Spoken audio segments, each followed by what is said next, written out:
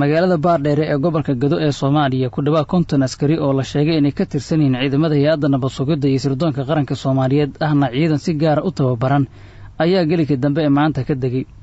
Waxaa doodii ka taagan tahay ciidankaas qaabka ay magaalada ku yimaadeen waxaana maamulka gobolka saraakiil ka tirsan iyo kuwa degmadu ay sheegayaan in magaalada muqdisho laga soo diray oo ay soo dirtay dowladda federaalk ah. Ujeeddadan waxay ku sheegeen in la doonayo in lagu qalqalgeliyo amniga magaalada ma jirto cid ka madaxa bannaan mas'uuliyiinta maamulka jubbaland oo xaqiijin karta ujeeddada safarka ciidan ee ah in magaalada ay qalqalgeliyaan laakiin dadka deegaanka waxa ay xaqiijiyeen in ciidan afduuban oo aada u qalabaysan ay baardheer ka degeen.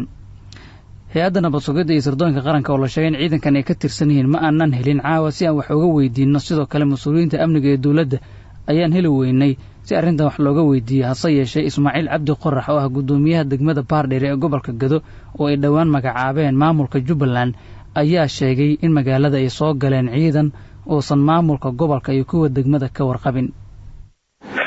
Waa mahadsantahay ciidankan maanta soo gaaray annaga ciidan aan ka warhayna ma aha aniga guddoomiyihii degmadaan nahay cidda degmadan ku soo kordhantay iyo cidda ku soo biirtayna inaan la socdaan xaq u leeyahay marka ciidamahun gafuur duuban baa yimid. Koley dhanka dowladda xaggeedana ka yimaadeen bay yidhaaheen waxaan u aragnaa marka ciidankaas maadaama ciidan aan ka warhayna uusan ahayn degmadan uu ku soo biiray ciidan maqalqalisay dhibaato la socda inuu yahay aaminsana waa imisa tiradooda ciidankaas soo gaaray magaalada? Kale ciidan aan aad u badnayn waa labaatameeyanin wax la mid a waa. Ma booliis nabad sugid military maxaa wey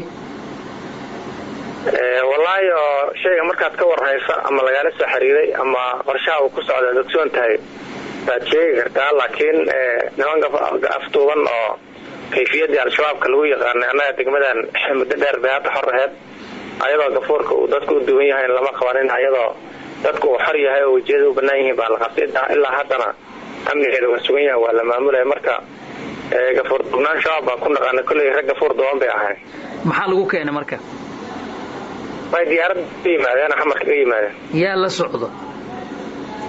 Wax hadda mas'uuliyiinna oo la socday ma jirin. Maxay kuu sheegeen ayaga haddaad la hadashay? Ujeeddada safarkooda. Wallaahi kolley rag rag dana gaar ah deegaanka kale oo is leeyahay deegaanka deganaanshihiisa iyo nabadgelyadiisa iyo horumarkiisa iyo wanaagiisa ee qalqal gelinhayan aan leenahay oo nabad sugidda xamar joogta ay kow ka yihiin waan is leeyahay raggaas inay soo direen waxaa loo soo dirayna niman hadda deegaanka amni iyo wanaag ku soo kordhinahay ma ahane waa malahaaga marka laga reebo waxa adiga as leedahay oo aragtidaada marka laga reebo wax huban ma haysaayo ma weydiisay ujeeddada ay muqdisho uga soo baxeen oo ay baardheer u yimaadeen?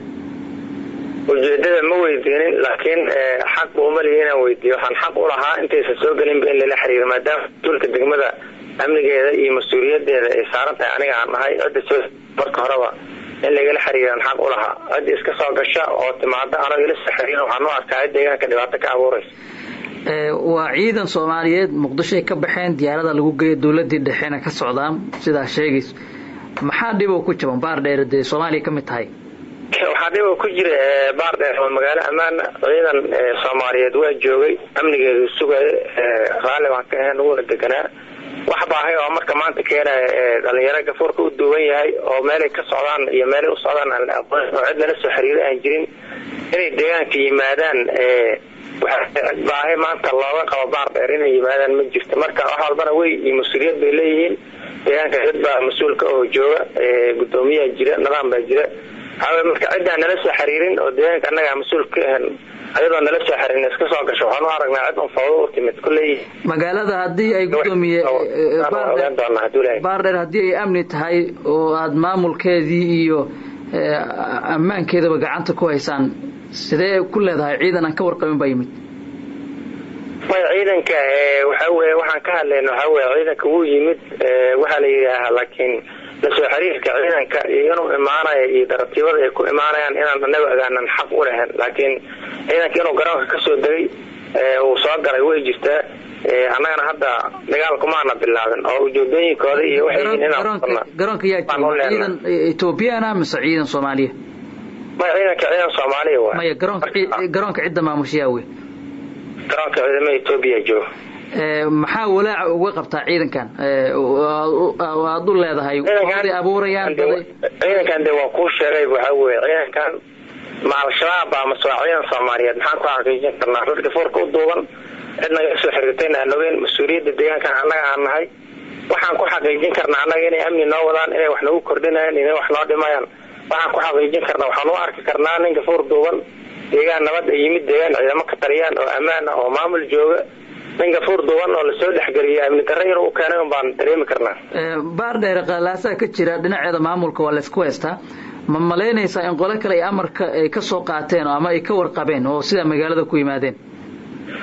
Wallaahi wax hadda dhibaato jira male deegaanka waxaa weye maamul horaa iyo hore maamul baa hore oga shaqeynaya waa la bedelay maamulka asaga ahaa maamul aniga aan guddoomiye ka ahaa loo soo magacaabay. Asagaa hadda shaqeynaya wax dhibaatahana kama jiraan marka haddiiba jirto xitaa ayada waa dhibaatooyinka aan ku sheegay noqonaysaa. Adiga gaar waxaa lagu yidhi waxaa u qabtaa walaac oo waxaa ka cabsi qabtaa ciidankan inan adiga iyo rag kaloo saraakiila oo maamulka gobolka ka tirsan oo baardheer ku nool inay baadi goobayeen ama loo soo diray oo aad aaminsantihiin in muqdisho idinla kaxayn doono maadaama aad diideen inta idinla wacay.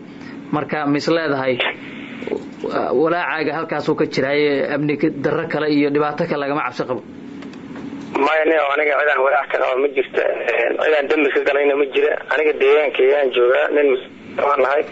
Shaqadii liisoo egmaday oo laii magacaabayna waan hayaa. Marka cid hadda aniga fuur duban oo ii timidna meelna igama kaxayn karta. Waxaa la yidhaahaa dhibaaana ima geysan karta. Waxaa weeye waan isku kalsoonaya deegaankayga iyo mas'uuliyadeedana waan ku kalsoonaya ani. Wax doodoo ka taagan halkeyga ma jiro. Waxaa weye xilkaan nin baa ku magacaabnaa waa laga bedelay. Anaa la u soo magacaabay anigana shaqada waa wadaa hadda wax shudahana kama jirto. Dawladda dhexe hadday kuu yeerto ma u imaanaysaa dawladda dhexe hadday inay ii yeerto ee sharci noqoto waa u tagaya laakiin haddaysanba sharci igu lahayn inay igu yeerto waxaa weeye ma u tagaya waxaa weye sharciyada unbaa ihagaysa aniga. Maya dawladda dhexe waa dawladda soomaaliya ee federaalka awoodaan dalka federalism baa ka jira. Waxaa weye maamul goboleed baa annaga ka tirsannahay. Waxay dawladda xaq u leedahay inay la xiriirto mas'uuliyiinta maamul goboleedka. Annagana waxaa weye maamul goboleedka ayaa nala ka xukumaa marka nidaam iyo dastuur baa jiray. Guddoomiye degma in loo yeero oo ay dawlad u yeerto waxaa ka muhiimsan oo sharciga uu yahay cidda guddoomiyahaas xukunta inay u yeerto. Xaggee degeyn hadda ciidankan oo ay fariisan ka dhigteen? Maya ciidankan meel magaalada ka mid ay degan yihiin guryaha caadiga ahoo waxaa weeye degmada qayb ka mid ay weliba shacabka loogu adeegaya degan yihiin. Marka kolley annagana mas'uuliyadaas iyo nidaam daradaas ayada ah oo ama hadda ay la soo galeen ama deegaanka ay ku joogaan maadaama deegaanka annaga aan hayna oma dulqaadan doona haddii ilaahydma kolley waan ogaan doonaa xaaladda siday noqoto maxaa qabanaysaa guddoomiye haddaadna u dulqaadan? Waxaan qabanayaa mas'uuliyadda deegaanka iga saaran haddii ilaahydma amniga deegaanka iyo horumarkiisa iyo wanaagiisa aan mas'uul ka ahay. Cid kastoo deegaanka qaliso ku wada inaan ka qabto waajib aa iga saaran maxaa uga qabanaysaa marka? Ma wada hadal ma waxaa uga qabanaya dagaal ciidankan shabaab maahan ciidan duulaan ku yimid maahan waa ciidankii soomaaliyeed oo magaalada loo soo diray. Aniga u mara iyo wadiiqo kastoon u mara mas'uuliyadda isaaran bay waxay tahay amniga deegaankan inaan sugo haddiiba ay sidaa tahay oo ay mas'uuliyadda ku saaran tahay hadda dadku soo kuma oran karaan waa dayacday amnigii lagugu aamino. Mar haddii ay magaaladii joogaan caawa ciidan hubaysan oo aadan ogeen waxa ay yihiin inay shabaab yihiin inay ciidan qarankii ka socda yihiin oo aan lagugu soo wargelin. Soo ma adnan dayacin hadda magaaladii.